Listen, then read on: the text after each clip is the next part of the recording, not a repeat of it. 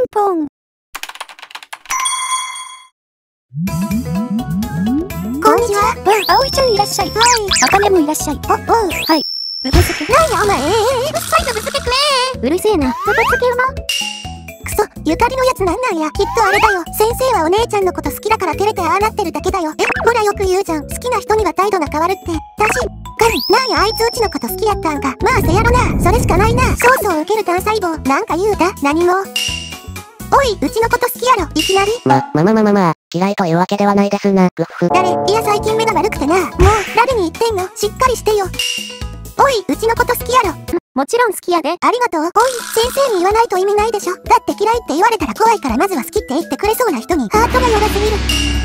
なあ、うちのこと好きやんな。なんかちょっと塩らしくなってる。もちろんですよ。よしよし。私の姉にはプライドというものはないのだろうか。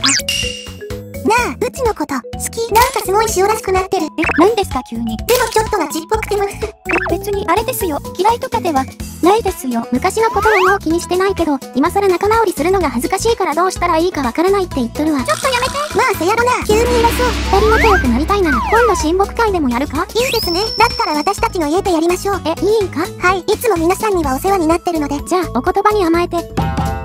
こんにちは。おう、ついゃん、あかりいらっしゃい。お邪魔します。ゆかりもいらっしゃい。うん、うん。はい、ブブ漬け。何ですか、貴様やかましいブブ漬け食いやあああああもうほっとこう。な、はい、ブブ漬けうま。